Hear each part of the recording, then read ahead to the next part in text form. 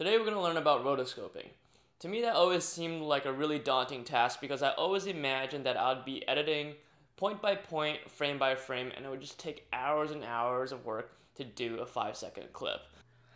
Actually, it's damn easy and probably just takes a few minutes. So let's get started.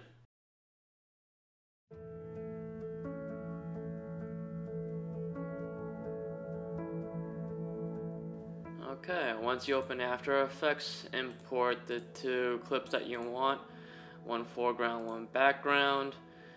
Drag one clip down to create a composition. Make sure that your composition is in the right frame rate that you want. Let's fit this to screen. And let's drag the other clip down. Now, for the girl clip, which is the clip that we're going to rotoscope, we want to make a copy of that, so press Ctrl D, and we could rename, we could rename it to uh, girl front. Alright, let's sandwich the galaxy clip. And double click girl, so that's highlighted. And now we could go ahead and rotoscope. Rotoscoping is this button up here, the roto brush tool. If you hold on to it, you can see roto brush tool and roto refine edge tool. We're gonna start off with the roto brush tool. Super quick and easy, just draw a line, you don't have to be too specific. You could already see how fast this thing is. There you go.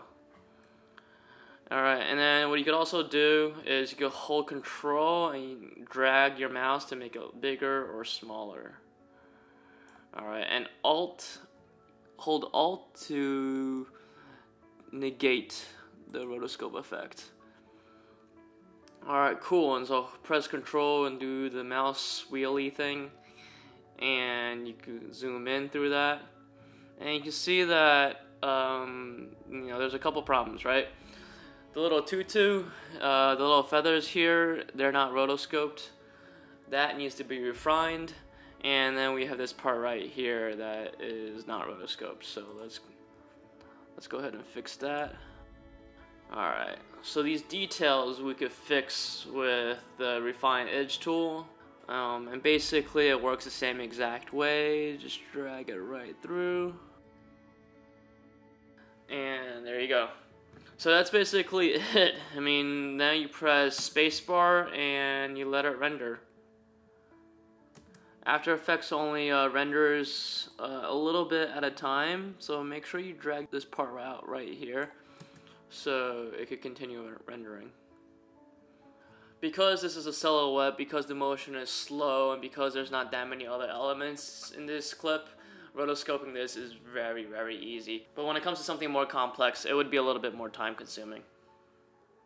Cool, let's take a look at how it turned out. Alright, that looks really good already. There is a little bit of um, problem with the tutu, but let's go ahead and fix that. So let's see where the problem starts. Cool, so go back to the layer, hold down Alt, and let's clear up some stuff here. Okay. Alright, looks pretty good. I'm looking at my um, recording time and it's less than 10 minutes. So you could do this by yourself in under 10 minutes. Obviously, there's a lot of other things you could do to make it more convincing, such as perfecting all the edges, color correcting, feathering. I'm not to get into that because the list of things that you could do to make it absolutely perfect is endless.